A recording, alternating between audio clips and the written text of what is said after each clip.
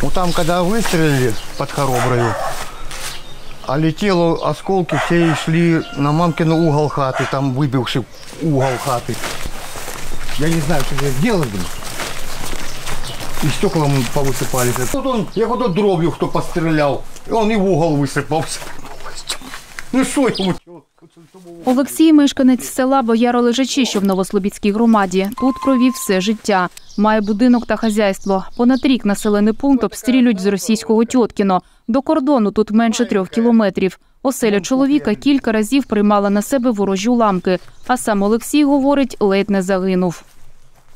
У 10 метрах от меня сзаду рвануло. Ну, летел я ме- метров 5-6, может.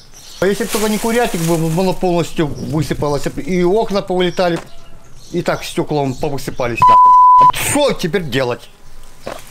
Олексій, попри ворожі удари, залишився у селі відновлювати дім.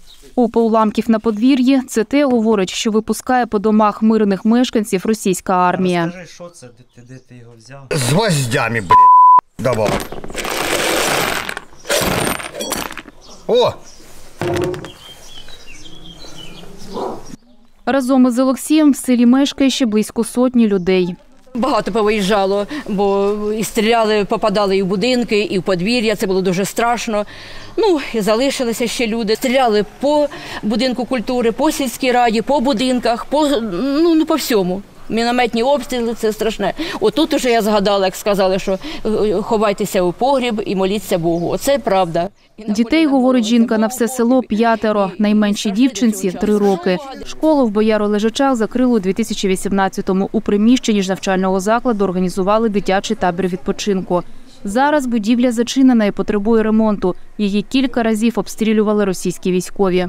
Ось тут була міна, привіт. І це дитячі качельки, все побите. Грибочок, домики. Тут вся школа в дирах посічена.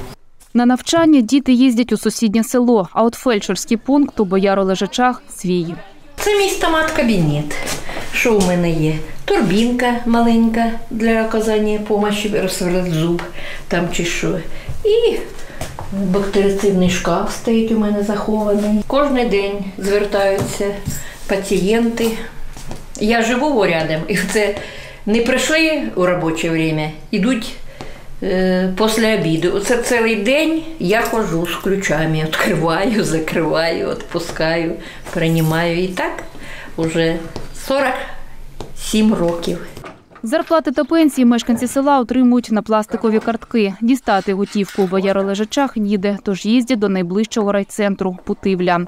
Автобус, говорять, курсує раз на тиждень повз заміновані узбіччя. А до 2014-го, згадує місцева медикиня, скуповувалися у російському Тьоткіно.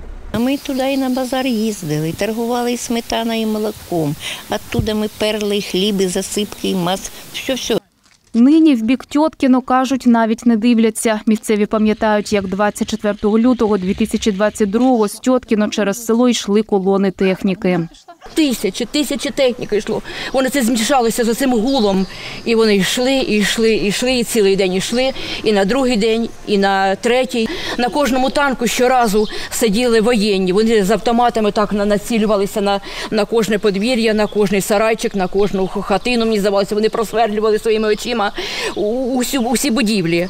Саме ті дні навчили селян більше підтримувати один одного, говорить завідувачка місцевого будинку культури Ольга Гарбузова. Такого раніше не було до, до війни. А зараз, звісно, або нам треба вижити, треба жити, треба дождатися своїх синовей, треба дождатися своїх мужей, треба дождатися онуків, наконець-то. Ну що ми повинні? Ми повинні жити. Наше село жило, живе і буде жити. Діана Крахматова, Андрій Кравчатков, Сергій Коваль. Суспільне новини. Сумщина.